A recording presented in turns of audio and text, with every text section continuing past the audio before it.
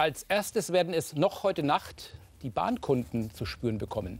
Alle Räder stehen still, wenn ein starker Arm es will. Gemeint ist der Arm der Lokomotivführer. Und es steht nichts weniger auf dem Spiel als die Funktionstüchtigkeit unseres Landes. Missbrauch des Streikrechts? Fragezeichen. Machtvolle kleine Gewerkschaften. Liebe Zuschauer, das Thema der Phoenix-Runde. Willkommen bei uns. Meine Gäste, Ursula Weitenfeld, Sie sind Wirtschaftspublizistin. Bei uns ist äh, Ilja Schulz, der Präsident der Vereinigung Cockpit und Lufthansa Flugkapitän. Sie haben morgen einen freien Tag, weil die Unternehmenseinheit, in der Sie arbeiten, die streikt ja morgen, Lufthansa Cargo, also der Fra Frachtflugbereich. Das heißt für mich als Gewerkschafter nur nicht einen freien Tag, aber der Streik ist korrekt, ja.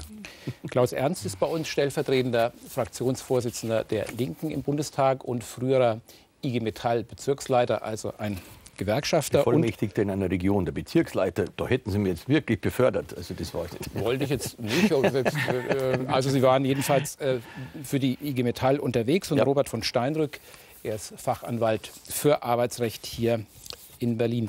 Frau Weidenfeld, heute Nacht Lokomotivführerstreik. Bis morgen früh ist der Streik rechtmäßig?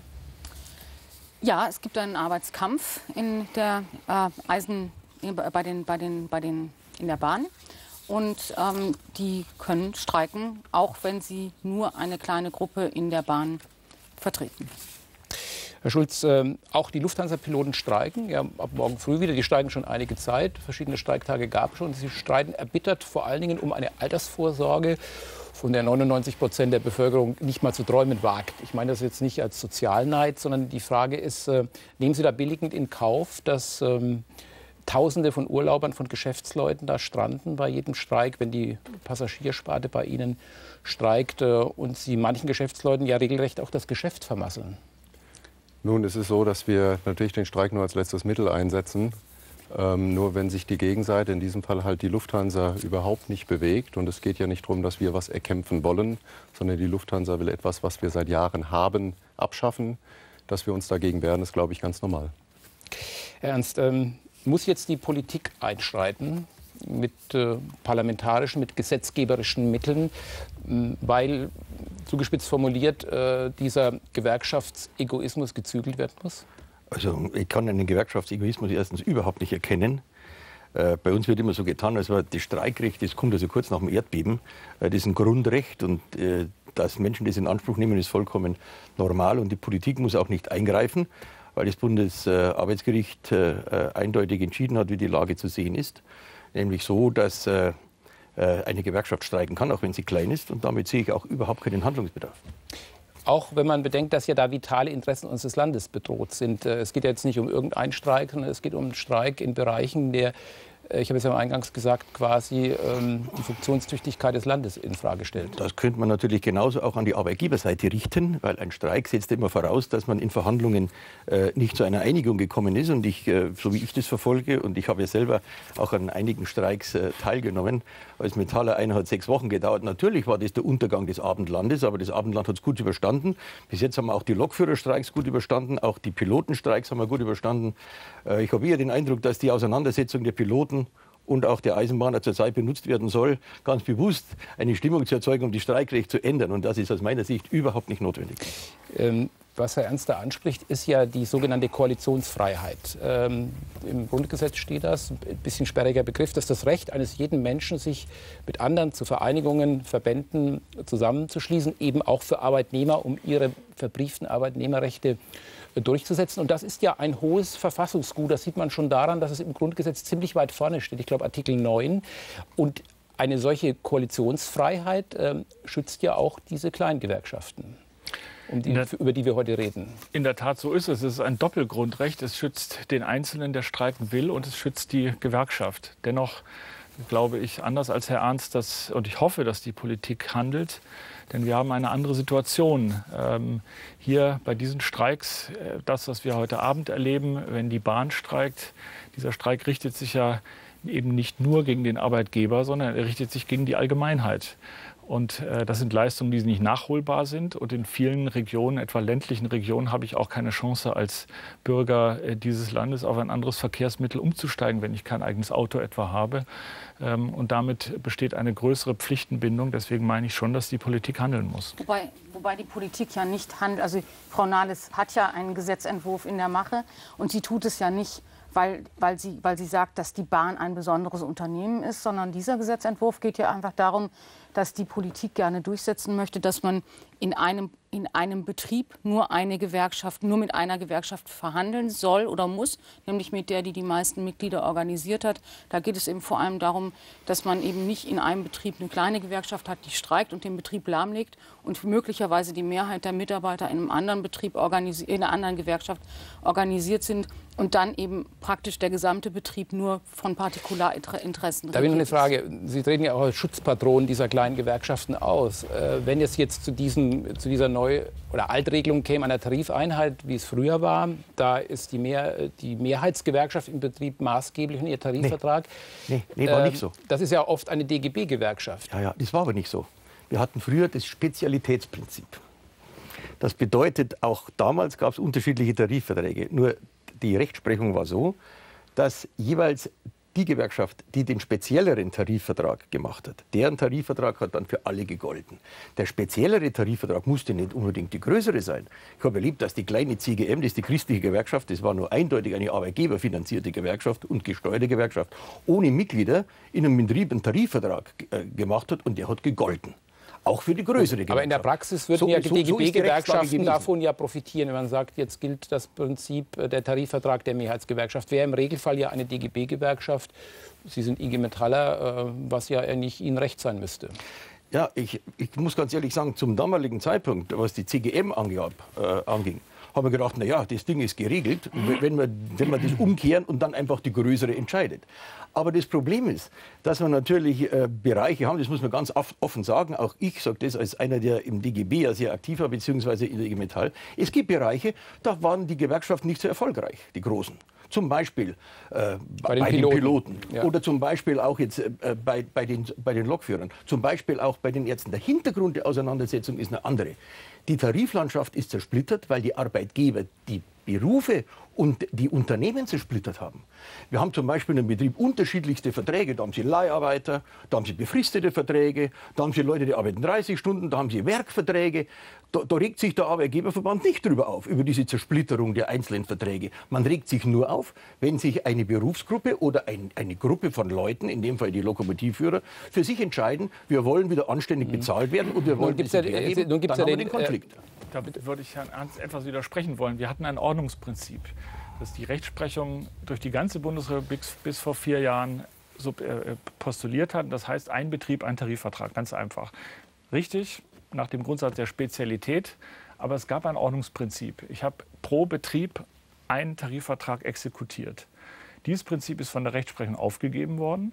Und ich meine, ähm, die Bundesrepublik hat sehr davon profitiert, dass wir über all diese Jahre weniger Streiks hatten und auch in der Belegschaft Frieden hatten. Denn es ist schwierig, in Belegschaften verschiedene Tarifverträge zu exekutieren, möglicherweise mit unterschiedlichen Arbeitszeitregelungen, mit unterschiedlichen Gehältern. Das alles bringt sehr viel Unfrieden in die Belegschaft und es ist ein Element der Entsolidarisierung. Dann können wir das ja gleich an Herrn Schulz weiterreichen. Ähm, die, die, Piloten, nur ganz kurz äh, als Anhängsel meine Frage, die Piloten sind ja ähm, sehr privilegiert. Es gibt ja aber auch noch andere, die bei der Lufthansa arbeiten, die das möglicherweise nicht so gut finden und äh, denken, dass die dieser Streik der Piloten auch auf ihrem Rücken ausgetragen wird.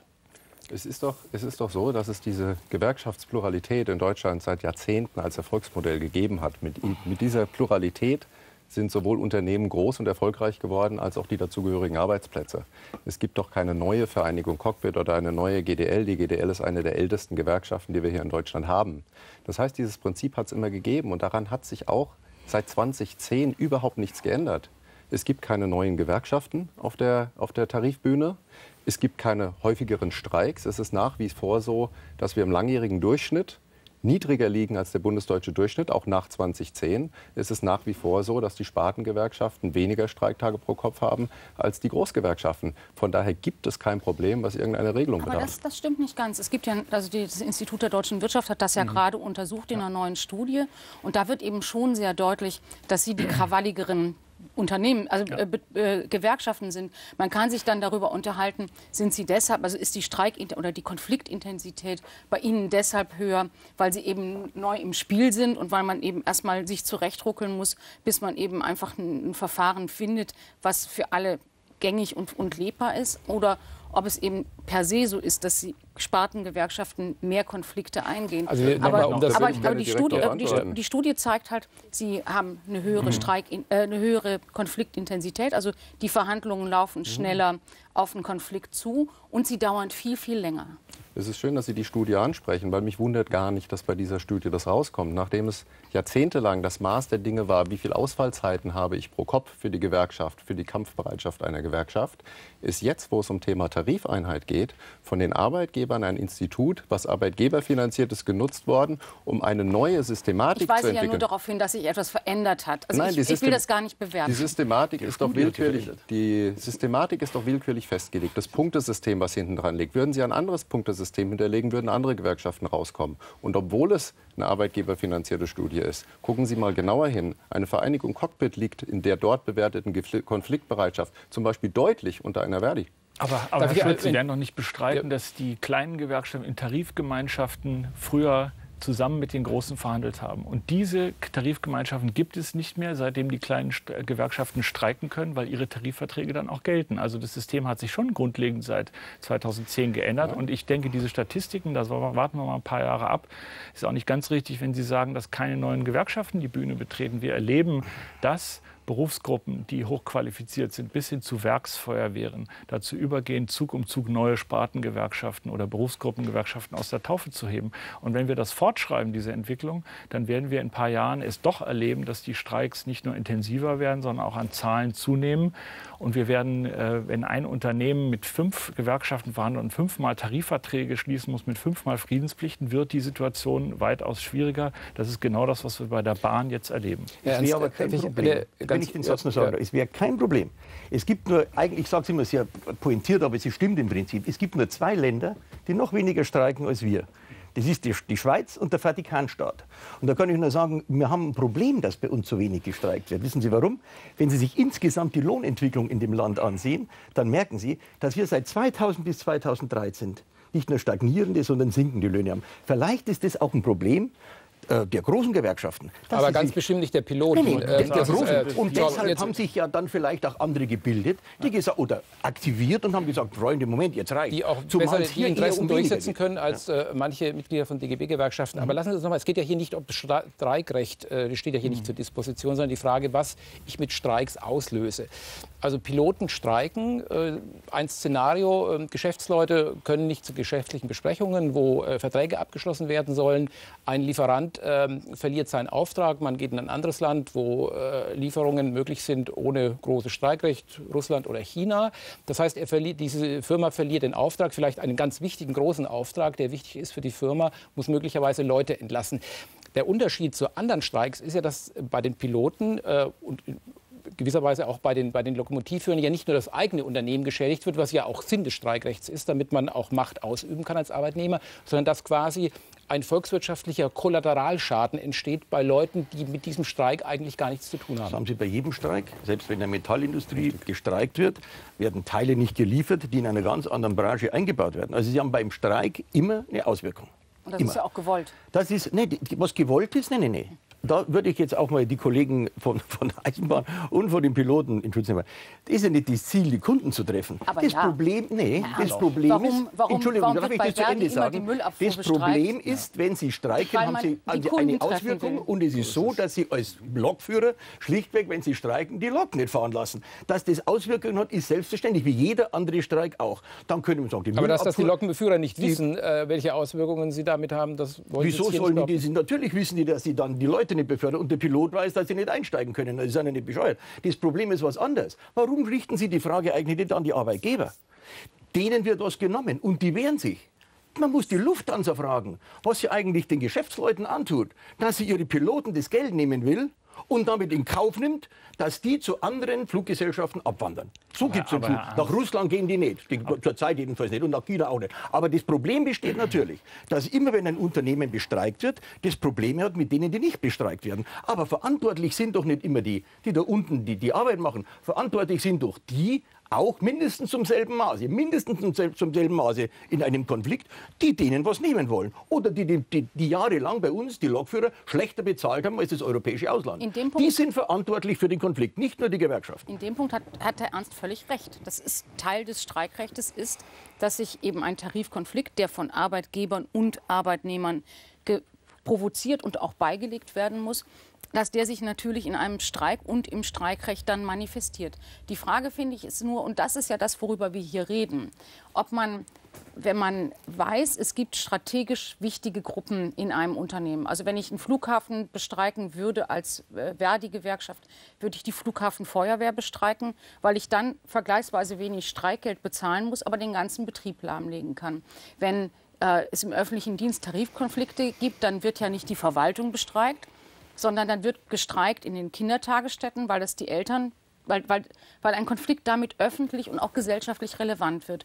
Und das ist natürlich etwas, was die Arbeitnehmer wie die Arbeitgeber eingehen, diesen Konflikt, damit es eben auch einen Diskurs darüber gibt, ist das gerechtfertigt oder nicht. Man will diese Wirkung haben und Sie wollen die ja Aber auch. Sie, Sie wollen das ja doch jetzt an, dass dies genau eine Taktik ist, die die Großgewerkschaften ganz gezielt einsetzen. Wir machen das ja nicht Sie gezielt. Wir, wir, können ja nichts anderes machen, als die Piloten in Streik ja, schicken. Wir vertreten nur die gibt, Piloten. Es gibt, sie ja, nur? Es, es, gibt genau. sie ja nur, weil die Piloten eine strategische, äh, eine strategische Stellschraube in, in jedem Flugzeug sind. Ohne, Flug, ohne Nein, Pilot ist, fliegt es nun mal nicht. Ja, aber das ist eines dieser Gerüchte, die sich halten zu den Spartengewerkschaften. Uns gibt es deshalb, weil wir es schaffen, äh, unsere Kollegen zu einem extrem hohen Prozentsatz zu solidarisieren. Ich will das gar nicht bewerten. Was aber es ist eben schaffen. So. Wenn alle Krankenschwestern streiken, dann steht ein Krankenhaus still. Wenn alle Flugbegleiter äh, streiken, dann steht die Lufthansa auch still. Das ist nichts anderes. Der Unterschied ist, dass ja. alle Krankenschwestern nicht streiken dürfen. Ja, aber bei den Flugbegleitern ist das möglich. Sie dürfen streiken, aber sie dürfen eben. nicht alle streiken. Oder beim Bodenpersonal einer Lufthansa oder einer Bahn.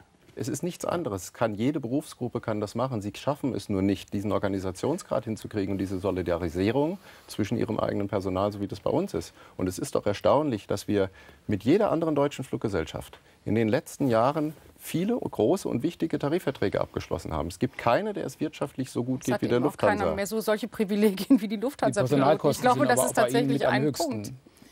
Trotzdem haben wir Tarifverträge abgeschlossen, die die Bedingungen bei den Leuten mhm. verbessert haben. Wir hinken bei Lufthansa übrigens hinterher. Es ist so, dass die Piloten weniger ähm, äh, ausgeglichen haben über die letzten Jahre, als es der Allgemeinbürger in Deutschland gemacht hat. Das soll kein Klagen sein, das ist nur ein Fakt. Sie sprechen aber deshalb die letzten Jahre aber an, weil die, die, letzten 20 Jahre natürlich die allgemeinen Arbeitgeber tatsächlich in anderen Bedingungen waren. Und sie haben eben einmal durch die Sozialpolitik Einschnitte hingenommen und sie haben Arbeitszeitverlängerungen, übrigens auch die Beamten. Richtig. Alle haben das hingenommen. Und dann, ich finde es schon auch ein, ein berechtigtes... Schade, dass Sie das getan haben. Das ist das Problem. Ja, aber ich meine, das, ich, man muss es doch nicht bewerten. Es ist doch legitim. Sie bewerten es doch aber Aber es ist doch legitim, wenn ein Arbeitgeber diesen Wunsch hat und wenn er das ja, verhandeln genau. möchte und wenn er darauf Richtig. hinweist, genau. dass eben die Verhältnisse sich das so verändert legitim. haben. Und genauso legitim ist, dass sich die Leute ja, das, das nicht gefallen lassen. Also ja, aber, das ist genauso wir legitim. Gar, wir verweigern uns doch gar keine Verhandlungen. Es ist doch einfach ein Fakt, dass am Ende der Verhandlungen der Arbeitgeber die Möglichkeit hat, Fakten zu schaffen, indem er zum Beispiel in unserem Bereich versucht, Arbeitsplätze auszulagern ins Ausland.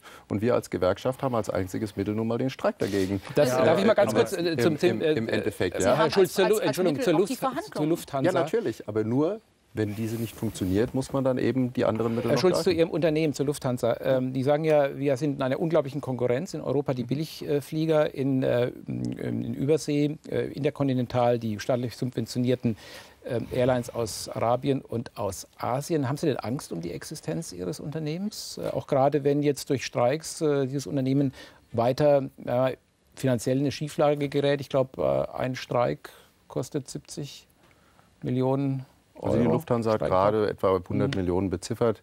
Ich glaube, dass die Streiks in dieser Größenordnung zwar schmerzhaft sind, aber nicht für die Existenz der Lufthansa jetzt irgendeine Relevanz haben.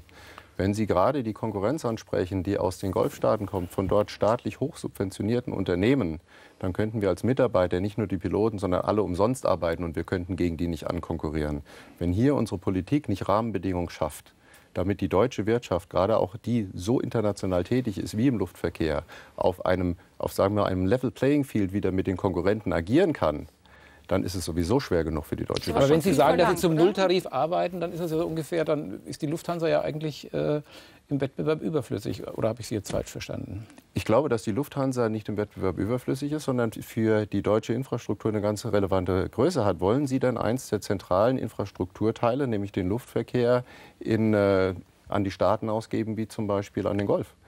Das kann doch nicht Ziel einer also Bundesregierung sein. soll bei uns sein. auch staatlich subventioniert werden? ich rede nicht von staatlichen Subventionen. Nur man muss sich überlegen, ob man den kompletten Liberalismus, so wie er betrieben wird, ähm, mit sagen wir mal, mit Konkurrenten zulässt, die eben mit anderen äh, Rahmenbedingungen arbeiten. Die Bundesregierung tut gut, sich das bei ja, die Bundesregierung tut gut daran, sich bei den Verkehrsrechten sehr genau anzugucken, ähm, ob sie jetzt einer Emirates zum Beispiel neue Verkehrsrechte für Deutschland gibt. Ja, die Frage ist, ob das, ob das über das Arbeitskampfrecht ausgeglichen werden kann. Der Arbeitskampf ist etwas ganz Atavistisches. Da laufen zwei mit dem Knüppel aufeinander los und der Staat ist eigentlich nur der Schiedsrichter, der darüber sorgen muss, dass beide ungefähr einen gleich dicken Knüppel in der Hand haben. Das klappt aber im Arbeitskampf, insbesondere in den Bereichen, über die wir gerade diskutieren, Transport und Gesundheitswesen, schon deswegen nicht, weil hier der Arbeitgeber die Mittel, die man sonst hat, aussperren, gar nicht kann. Die Bahn hat einen Beförderungsauftrag, kann die Lokführer nicht aussperren. Im Übrigen ist es eine kleine Berufsgruppe, die insbesondere in Ihrem Fall hochqualifiziert ist, die ich auch gar nicht am Markt woanders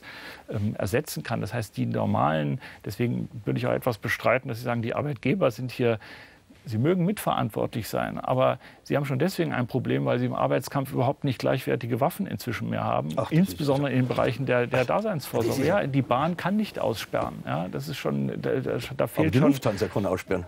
Die Lufthansa, da ist es ja auch ein bisschen anders. Kommt noch ein zweiter Aspekt. Und ich wüsste gar nicht, warum wenn die Bahn nicht Ende, kann. Wenn ich das noch zu Ende sagen darf, Herr Ernst. Bei der Bahn haben wir noch einen weiteren Effekt dass, und das geht einher mit dieser Entsolidarisierung, dass sich die kleinen Gewerkschaften gegenseitig, das tun sie nicht, ähm, die Kundengruppen abjagen. Das, was Herr Wieselski gerade tun möchte, ist eben nicht nur die Lokführer zu vertreten, sondern auch die, Zugbe äh, die Zugbegleiter, die Fahrdienstleiter und eben weitere Berufsgruppen. Das ist doch schön, wenn es Wettbewerb unter den Gewerkschaften gibt. Naja, aber das geht, alles das geht auf Kosten äh, des Arbeitgebers und der Allgemeinheit. Und das ist schon die Frage, äh, ich meine, dass da die Politik eben doch also, eingreifen das, das muss. Das verstehe ich immer nicht. Warum geht das zu Lasten der Allgemeinheit. Also wenn man einfach mal sagen würde, wir sind in einer neuen rechtlichen Situation, die ist 2010 durch das Urteil des Bundesarbeitsgerichts eben entstanden, zu sagen, es kann durchaus auch mehrere Tarifverträge in einem Unternehmen geben wir sind in einer Situation, an die wir uns gerade gewöhnen. Und das sehen wir eben auch durch diese Tarifkonflikte, die wir im Moment haben. Aber warum schädigt das auf die Dauer die Allgemeinheit? Also wenn man noch mal überlegt, warum es dieses Prinzip im deutschen Tarifrecht gibt, dann ist es ja so eine Erfahrung aus der Weimarer Republik gewesen. Also historisch hat man gesagt, als die Bundesrepublik gegründet wurde, unter anderem haben die dauernden Arbeitskämpfe in Unternehmen die Weimarer Republik so destabilisiert, dass es dann am Ende zum Ende dieses demokratischen äh, dieses demokratischen Staates kam und zum Nationalsozialismus. Deshalb hat man dann mit dem Grundgesetz und eben mit auch der Rechtsprechung dafür gesorgt, dass eben in Deutschland Vielleicht, und deshalb hat man es ja nicht direkt ins Grundgesetz geschrieben, sondern man hat es der Rechtsprechung überlassen. Vielleicht hat man, bis, bis Deutschland so stabil ist, dass es eben auch andere Systeme wieder aushält und auch andere Verhandlungsregime wieder aushalten kann.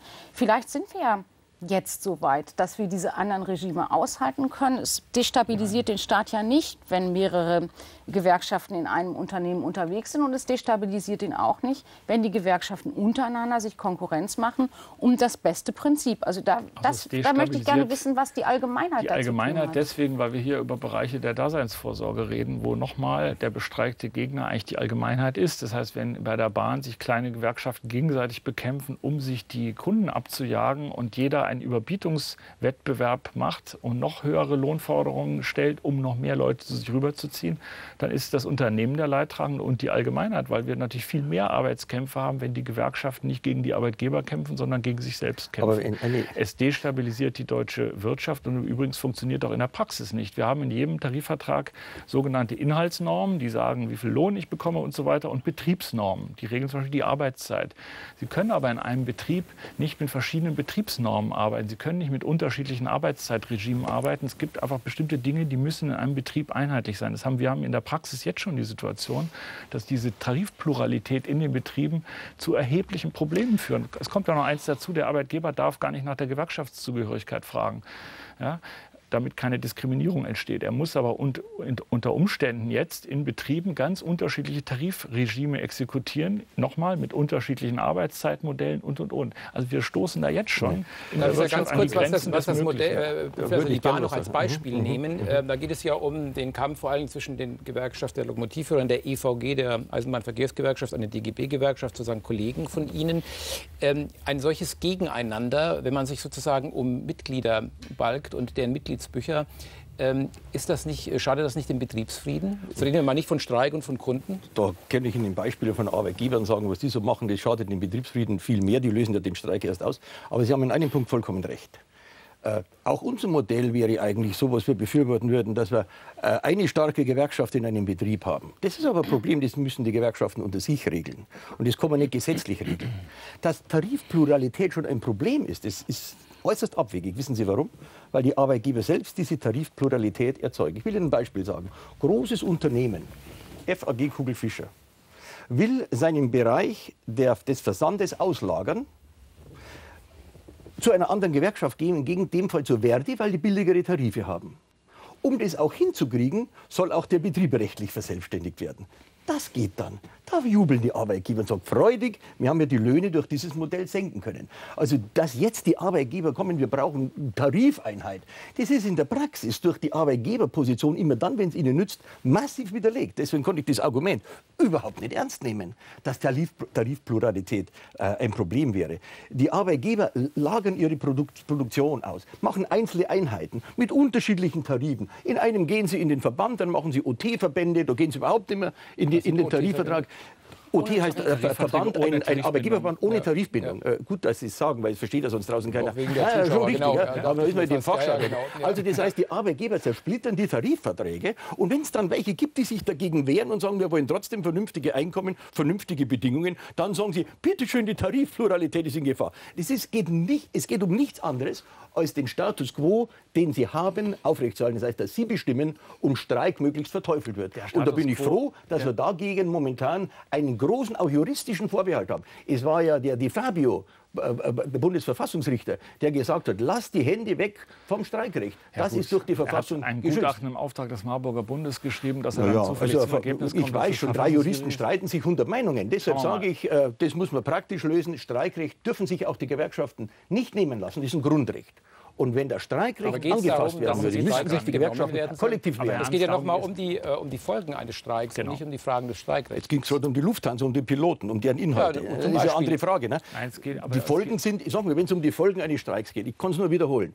Also wir haben sechs Wochen in Baden-Württemberg gestreikt, über sechs Wochen, zur Einführung der 35-Stunden-Woche. Natürlich hatte das Auswirkungen. wird dann ein Auto später ausgeliefert. Nee, da fehlt nee, äh, nee, ein wesentlicher Bestandteil der Mobilität, der, der Daseinsvorsorge oder unseres Landes ist in Gefahr, nämlich die Mobilität. Das ist doch ein Unterschied. Vor allem sind das, das was wir machen, ist doch keine Daseinsvorsorge. Also Daseinsvorsorge ist die Grundversorgung der Bevölkerung. Richtig. Da geht es um Gas, da geht es um Strom, um Wasser, Richtig. um Sicherheit wie Polizei, um Krankenversorgung. Verkehr aber, gehört aber auch dazu. ob nun, ob nun ja. Sie haben das Beispiel doch selber genannt, ob nun ein Manager an einem Termin statt, äh, teilhaben kann oder der in Form von einer Videokonferenz stattfindet oder ob nun äh, jemand einen Tag später irgendwo hinkommt, das ist zwar bedauerlich und verursacht Unannehmlichkeiten. Aber es ist doch keine Daseinsvorsorge. Aber damit stellen Sie aber doch jetzt das Geschäftsprinzip der Lufthansa komplett in Frage. Wenn Sie sagen, ist egal, ob die pünktlich sind, ist egal, ob sie überhaupt fliegen nee, und ist egal, ob die Manager nee, telefonieren. Wir, wir, also diskutieren, doch, wir diskutieren doch eigentlich um den Kern einfach nur außenrum. Wir reden davon, welchen Ausfluss haben irgendwelche Streiks, gibt es dafür eine Legitimation, gibt es eine übergeordnete Schiedsstelle, die entscheiden muss, ob ein Grundrecht abgeschafft, für bestimmte Gruppen nicht mehr gelten soll. Einfach, weil die Unternehmen damit nicht klarkommen. Also, dass wir jetzt so außenrum reden, hat natürlich den Grund, dass ja viele davon betroffen sind. Wir reden von den Betroffenen. Klar, die Piloten haben ihre äh, wohlverstandenen Interessen. Darum geht es ja auch gar nicht. Die wird Ihnen ja auch niemand nehmen. Die Frage ist ja, was für Auswirkungen diese Streiks haben. Niemand ja. will ein Grundrecht weg. Das geht auch gar nicht. Das äh, steht auch, glaube ich, außerhalb jeder Debatte, dass das Streikrecht äh, nicht weggenommen werden kann. Nur geht's im Kern. auch Das die Bürgerinnen das. und Bürger, die betroffen sind, haben auch Grundrechte. Das ist aber das, und es was ist die ein massiver Bundesregierung möchte. Sie möchte Nein. dafür sorgen, dass wenn das die Mehrheitsgewerkschaft einen Tarifvertrag geschlossen hat, dass dies eben auf das Streikrecht, das heißt äh, die Nichtstreikfähigkeit, sich auf alle auswirkt, auch aber auf Herr die Schulz, Ein die Grundrecht auf Bahnfahren habe Ja, ich noch nirgends gelesen. ich auch das ein Grundrecht auf Fliegen habe ich noch nirgends Sehr gelesen. gut, aber dann gehen wir jetzt, äh, aber Herr. Ernst, Entschuldigung, dann, dann können wir, äh, gehen wir beide jetzt nachher um 21 Uhr zum Berliner Hauptbahnhof und ähm, unterhalten uns mit den gestrandeten Sagen Reisenden. Sie mal, dass denen keine, Das dass mache die keine Grundrechte gerne. haben. Das können wir gerne machen. Und ich habe die Erfahrung, dass wenn ich zum Beispiel mit Leuten rede, auch äh, übrigens im, im Flieger, bin ja ab und zu im Flieger unterwegs, und wenn ich so die Lufthansa, wenn man mit denen spricht und sagt, um was es geht, dass die gar nicht mehr wollen erstmal, sondern sie wollen nach wie vor vernünftig in Rente gehen können. Und da gibt es Rücklagen von, von, von einer Milliarde, die die Lufthansa offensichtlich ein, einkassieren will. Das ist doch der Hintergrund. Ja, warum, wenn ich dem Bürger das sage, dann akzeptieren die das. Und auch beim Bahnfahren. Wir dürfen nochmal den. Gedanken weiterspinnen. Also heute Abend streikt die Bahn, morgen früh äh, streikt die Lufthansa. Im Jetzt Cargo. haben wir im, im Cargo, richtig. Jetzt haben wir in der Zeitung gelesen, dass Sie sich mit Herrn Weselski da schon etwas abstimmen. Ich frage mich nur, was ist, wenn Sie sich äh, plötzlich nicht mehr so mögen und nicht abstimmen? Dann können Sie ja auch beide zusammenstreiken. Wir sind hier angewiesen als Allgemeinheit letztlich auf Ihr gutes Einvernehmen. Wenn Sie kein gutes Einvernehmen haben, dann können wir Situationen erleben, äh, die für die Bürgerinnen und Bürger dieses Landes und für die deutsche Wirtschaft äußerst schädigend sind. Da ist schon die Frage, ob das eigentlich durch Richterrecht zu lösen ist oder ob hier nicht der Gesetzgeber tätig werden muss. Gut, Keiner würd- sagt, dass man ich, ihnen ein Das würde ich jetzt gerne jetzt mal will. aufnehmen. Diesen, also heute Nacht wird auf deutschen Bahnsteigen viel geflucht. Morgen früh möglicherweise in einigen Betrieben, die auf ausbleibende Luftfracht aus Asien warten. Ähm, jetzt ist immer wieder der Ruf, äh, da muss der Gesetzgeber etwas machen. Ähm, äh, welche Möglichkeiten hat der Gesetzgeber überhaupt zu sagen, also selbst wenn das jetzt äh, in Zweifel gestellt wird mit der Daseinsvorsorge, welche Möglichkeiten hat der Gesetzgeber hier so einzugreifen, ohne dass das Streikrecht und die Koalitionsfreiheit tangiert werden. Naja, die Spielräume sind nicht so sehr groß und deshalb tut sich ja die Ministerin Nahles auch so schwer mit dem Entwurf. Der soll ja in zwei Wochen kommen, neuer Gesetzentwurf, der eben die Tarifeinheit regelt. Und der Gesetzgeber lässt sich da übrigens weder von der Allgemeinheit und der Daseinsvorsorge leiten, noch lässt er sich von der Frage leiten, was die Arbeitgeber vielleicht mit verschulden und, und mit zu verantworten haben, sondern er lässt sich eben zunächst mal einmal von, von, von, davon leiten, dass es möglicherweise ja auch einen Schutzauftrag gibt für die Arbeitnehmer in dem Betrieb, die keine gute Verhandlungsposition haben. Und das ist ja etwas, was, was in unserer Diskussion jetzt gar keine Rolle gespielt hat. Was ist denn mit den Leuten bei der Lufthansa, bei der Bahn, in anderen Unternehmen, in, in, in, Krankenhäusern, die möglicherweise keine gute Verhandlungsposition haben und die bisher davon profitiert haben, dass es eben strategische Größen im Unternehmen gab, die man in den Streik schicken konnte. Also die Müllabfuhr, die Piloten, die Feuerwehr, was auch immer. Und da finde ich, das wäre für mich der einzige Grund, wo ich sagen würde, ja, auch da gibt es einen Auftrag, nicht nur an den Gesetzgeber, mir wäre es viel, viel lieber, die äh, Arbeit, die Tarifpartner würden das unter sich regeln, aber dass es da doch einen Auftrag gibt, in den Betrieben für den Betriebsfrieden zu sorgen und eben auch dafür zu sorgen, dass nicht nur einzelne Gruppen davon profitieren, wenn es gut läuft, sondern alle. Da würde ich sagen, da gibt es einen Punkt und das ist wohl auch das, was die Sozialdemokraten jedenfalls mit diesem Gesetzentwurf auch regeln wollen. Schön gesagt, gebe ich Ihnen recht. Werden Sie überrascht sein. Aber das kann man eben nicht gesetzlich regeln, sondern das müssen die Gewerkschaften, die Arbeitnehmer, das richtet sich ja, das Streikrecht richtet sich an alle Arbeitnehmer, das müssen sie unter sich Ja, aber ausmachen. Cockpit will Machen das Sie nicht. aber ja, doch das nicht. ist völlig machen Sie wurscht. doch eben, Vorher war es anders, das. ist, vielleicht machen die das irgendwann. Das ist eine andere Frage. Wenn sie das aus irgendeinen Gründen nicht machen, ist das eine andere Frage, als wenn der Gesetzgeber sagt, und das ist ja im Plan, dass er sagt, es gilt nur der Tarifvertrag der stärkt der größeren Gewerkschaft, aber wir streiken das Streikrecht nicht ein. Das ist Unfug, weil dann brauchen die ja gar nicht mehr streiken, weil ihr Tarifvertrag gar nicht mehr gilt. Ist so, wenn ich sage, jeder Mensch hat das Recht, vom 3-Meter-Becken ins Schwimmbecken zu hupfen, aber vorher hat einer das Wasser rausgemacht. nicht Ne? Dann macht das nicht Nein. mehr. Also das ist der entscheidende Punkt. Der entscheidende Punkt ist, das müssen die Gewerkschaften, die Arbeitnehmer Und wenn Sie es nicht machen, dann muss dann nur Politik. dort- gilt das Grundrecht Aber und keine Ernst- Einschränkung des Streikrechts. Das ist meine Position. Aber was, der, was jedenfalls in den Eckpunkten steht, ist, dass das nur dort gilt, wo die Tarifverträge sich überschneiden. Das ist ein ganz wichtiger Punkt. Das wäre bei Ihnen ja nicht der Fall, äh, etwa bei der Lufthansa, wo wir für verschiedene Berufsgruppen verschiedene Tarifverträge haben. Das, was wir im Juristendeutsch gewillkürte Tarifpluralität nennen. Dort soll das ja nicht gelten, sondern es soll dort gelten, wo sich Gewerkschaften in ihren Gebieten gegenseitig wildern und unterschiedliche sich überschneidende Berufsgruppen in einem Betrieb vertreten. Dort soll dieses Ordnungsprinzip gelten. Das scheint mir sehr sinnvoll zu sein, weil äh, das ist der Aspekt, den Sie genannt haben, Frau Weidenfeld, ähm, die Berufsgruppen, die nicht die Chance haben, mit großen Schlüsselqualifikationen große Schäden anzurichten, sich nicht so artikulieren können, die Leidtragende sind. Ich bleibe aber dabei, der Arbeitgeber und die Allgemeinheit ist in vielen Bereichen eben auch der Leidtragende. Ein Beispiel erleben wir heute Abend bei der Deutschen Bahn. Also dort, wo sich es überschneidet, scheint mir das ein sehr sinnvolles Herr Prinzip darf ich noch zu Eine, ähm, äh, eine Frage äh, an Sie stellen. Es geht, äh, der Vorwurf an Vereinigung Cockpit ist auch, es ginge Ihnen ja gar nicht mal so sehr um Lohnerhöhung oder um diese Altersversorgung, sondern auch darum, den eigenen Arbeitgeber unter Druck zu setzen, diese Billigstrukturen, mit denen die Lufthansa jetzt reagieren will auf die Konkurrenz, Sie haben ja vorhin angesprochen,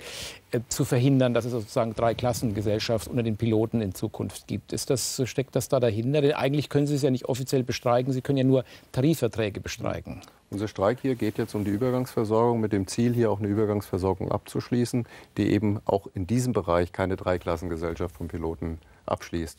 Natürlich werden wir uns mit den Arbeitgebern an anderer Stelle auch über äh, die zukünftige Besetzung von diesen Günstigfluglinien äh, unterhalten müssen. Das ist aber nicht Bestandteil des Arbeitskampfes. Ist das aber, äh, werden Sie denn da sich äh, kompromissbereit zeigen? Denn das ist eine Forderung, die an Sie auch gestellt wird. Wir haben dem Arbeitgeber schon ganz konkrete Angebote gemacht, ganz konkrete Angebote. Ähm, da aber auf der Arbeitgeberseite keinerlei Bewegung ist, sehe ich im Moment nicht, wie man zusammenkommt. Wenn eine Seite nur fordert und sich überhaupt nicht bewegt, ist es relativ schwierig zusammenzukommen. Dann wiederhole ich nochmal die Frage, sehen Sie die Gefahr, dass die Lufthansa ins Trudeln kommt, unternehmerisch, finanziell und auch in ihrer Existenz? Nicht durch unsere Streiks. Naja, aber, aber, aber ich würde gerne hier auf, ja. äh, auf Sie noch mal antworten. Ähm, was das Thema anbegeht, mit, oder Sie waren es gewesen, Entschuldigung, mit den, äh, mit den anderen Berufsgruppen. Die Vereinigung Cockpit macht ja ihre Tarifverträge schon seit über 40 Jahren damals noch unter dem Header der, der DAG, aber seit der Loslösung 99, also lange, lange vor dem Bundesarbeitsgerichtsurteil, eigenständig als Vereinigung Cockpit. Schon immer nur für die Piloten. Es war über 40 Jahre lang überhaupt kein Problem und plötzlich fängt eine Lufthansa an zu schreien, dass es quasi den Untergang äh, ihrer Gesellschaft bedeutet, dass die Piloten sich alleine vertreten können. Das macht keine andere Gesellschaft. Wir schließen in allen Gesellschaften Tarifverträge, ohne dass die Öffentlichkeit davon mitkriegt, ohne dass es einen einzigen, einen einzigen Streiktag irgendwo gegeben hätte mit anderen Fluggesellschaften. Es ist die Lufthansa, mit der man heutzutage keine Tarifverträge mehr schließen kann. Und das hat ja nicht nur eine Vereinigung Cockpit kennengelernt, das hat die UFO genauso erfahren, das hat auch die, die, Verdi, die Flugbegleitergewerkschaft, ja. und das hat auch die Verdi als Großgewerkschaft erfahren, dass es nicht mehr möglich ist, mit einer Lufthansa auf dem Verhandlungswege derzeit Tarifverträge abzuschließen. Das ist bedauernswert, das ist extrem traurig, aber das ist ist kein Problem einer Tarifeinheit oder von Spartengewerkschaften. Ja, der Arbeitgeber äußert sich aber andersrum ähnlich. Das ist äh, schwierig, wenn man bei den Verhandlungen nicht dabei ist, zu beurteilen. Aber vielleicht gibt es noch einen Aspekt, der auch noch eine Rolle spielt. Das ist nämlich im Ausland, in vielen Ländern, äh, ja, geregelt ist. In, in, in Frankreich, in, in Italien, in den USA, in den allermeisten Ländern haben wir bestimmte Verfahrensregelungen, dass man wenigstens sich einstellen kann. Also ich sage mal Ankündigungspflichten. Ja. Wir haben Ankündigungsfristen. Wir haben jetzt erlebt, heute Morgen um 4.38 Uhr ist, ich, dieser Bahnstreik äh, sozusagen angekündigt worden. Wir haben aber in Berlin auch schon Fälle gehabt, wo um Mitternacht angekündigt worden ist, dass ab morgens früh gestreikt wird. Das ist für alle Beteiligten, den Arbeitgeber schwierig, Notfallpläne aufzustellen. Das ist für die Allgemeinheit schwierig. Also Ankündigungsfristen, Schlichtungsverfahren. Wie wird überhaupt eine Grundversorgung sichergestellt? Auch das ist etwas, was im Interesse aller Beteiligten wichtig Darf ist. Ich da mal nachfragen? Also Schlichtungsverfahren, die stehen ja immer am Ende eines Konfliktes, bevor es mit dem Streik Richtig, beginnt, wenn, wenn alle sozusagen scheitern. alle genau. gescheitert sind. Also das Schlichtungsverfahren muss schon sehr viel früher einsetzen. Nein, in, in, in Italien etwa haben wir Schlichtungs, in anderen Ländern gibt oder in Spanien Schlichtungsverfahren, die für den Fall des Scheiterns der Verhandlung vorgeschrieben sind. Also ich will nur sagen, wir, Sie wollen ja nicht in die Schlichtung. Also das ja, aber Sie müssten dann ja, in die Moment, Schlichtung. Moment, ja, jetzt reden wir über Schlichtung. Also das ist ja recht und schön. Das ist eine weitere Möglichkeit natürlich. Also aber es, wenn es gibt sagt, die Lufthansa verhandelt nicht, gibt doch bei uns auch Schlichtungsverfahren. Wir haben mit der Metall Schlichtungsverfahren. Wir ja, haben aber das hat in manchen Fällen durchaus positive Wirkung gezeigt. Ja, also, das Problem bei solchen Schlichtungsverfahren ist immer das, äh, welchen Spruch kriegen Sie beim Schlichtungsverfahren? So ist es. Es geht hier um Streikrecht, nicht um Schlichtungsrecht. Und ich sage, wenn Sie die anderen Länder aufführen, Da haben wir Generalstreik in Frankreich, da haben wir Generalstreik in Italien. Ich nochmal, wir haben mit die geringsten Streiktage in Noch. Europa. Noch. Also das heißt, wir Noch. jammern auf hohem Niveau, was Ja, noch. Streik angeht. Nee, ich sage mal, was hier passiert. Die Arbeitgeber jammern auf höchstem Niveau. Sie tun so, als würden, würde der Arbeitnehmer. Ich weiß nicht, ob Sie schon mal gestreikt haben.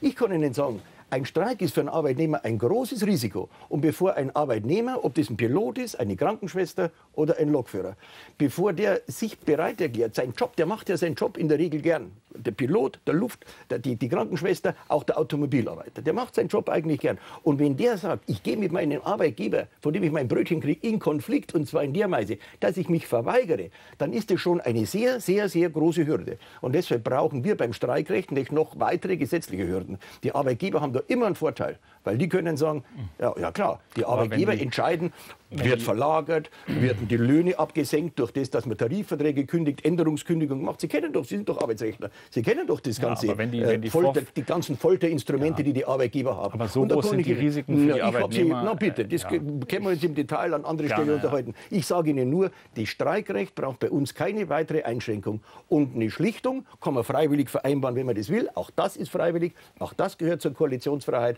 Und wenn Sie sie gesetzlich regeln wollen, gesetzlich einführen wollen, die anderen Länder haben höhere Streiktage als wir. Vorsicht. Noch, Was wie heißt, gesagt, äh, noch, Herr äh, was kann jetzt rauskommen bei dieser gesetzlichen Regelung, wenn die, kommt? Was, was kann man da erwarten und was kann man nicht erwarten? Es muss ja auch verfassungsgerichtsfest sein. Also in der Tat, ich glaube, das größte Problem ist die Hürde des Artikel 9 Absatz 3, dass die Bundesregierung natürlich bemüht sein wird, ein Gesetz äh, rauszubringen, was verfassungsgemäß ist. Und es ist auch klar, dass die Was steht in dem Absatz 3 genau? Gewerkschaften, Artikel 9 Absatz 3 steht, dass das Recht, Koalitionen zu bilden, äh, ein Grundrecht ist und dass Abreden, die das einschränken, nichtig sind, sinngemäß. Also ist das das. Text. auch für Berufe. Genau das ist so vorgesehen ja, das ist ja 3. unbestritten so. Das, das, das, äh, das, die Schwierigkeit wird jetzt sein, äh, dass man, dass man die- diese, dieses Ordnungsprinzip der Tarifeinheit dort festschreibt, in Betrieben bei sich überschneidenden Tarifverträgen, und dass man ein paar Verfahrensregelungen macht. Ich vermute, dass das sein wird, was da rauskommt. Ob man die Friedenspflicht antastet oder nicht, darüber haben wir in den letzten Tagen viele in Zeitungen gelesen.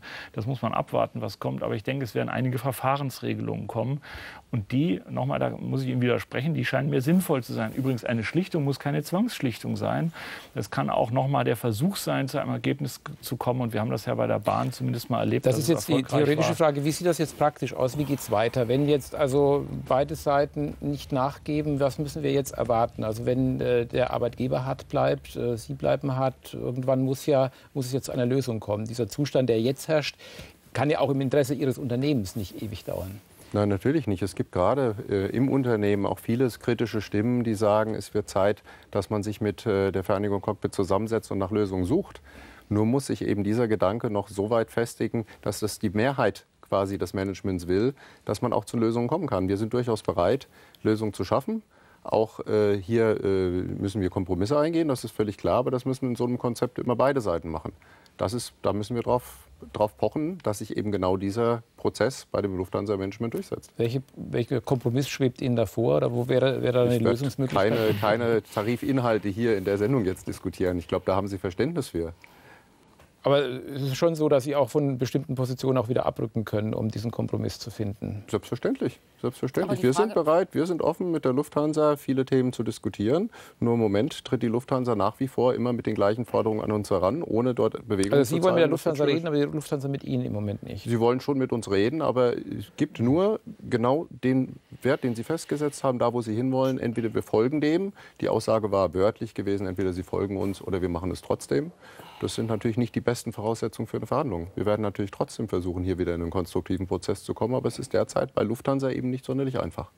Braucht man vielleicht Hilfe von außen, schlichter Mediator oder wie sich das immer nennt, Moderator? Zum jetzigen Zeitpunkt können Sie sowohl die Lufthansa als auch uns fragen. Sie kriegen die gleiche Antwort. Äh, Wir glauben beide, dass das nur die zweitbeste Lösung ist. Wir müssen schon selbst die Verantwortung für unsere Tariflösung übernehmen. Das ist aber auch im Moment die Meinung der Lufthansa.